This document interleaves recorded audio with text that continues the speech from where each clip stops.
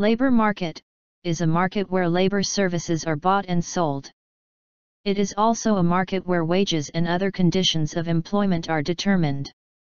Labor force, this is the proportion of the population of a country that is already employed and the proportion of the population that are available for employment.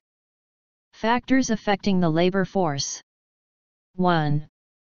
The size of the population, the largeness of the size of the population of a country is likely to bring about a large supply of labor force. 2. The age distribution of labor force. 3.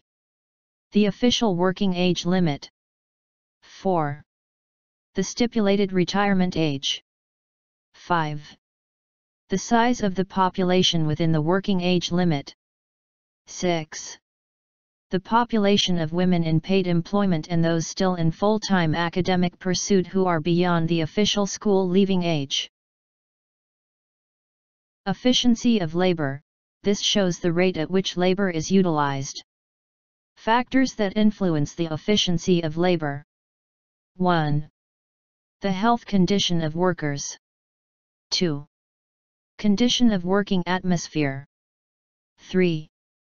Educational background The nature and amount of training received by a worker goes a long way in determining his efficiency. 4. Worker's attitude to work. 5. The salary and the other benefits. 6. Working capacity of tools and equipment used by workers. Thanks for watching this video. Please subscribe to our channel to get updated on more videos. Subscribe, like and share on all platforms. To connect with us log on to our website at www.funumu.com.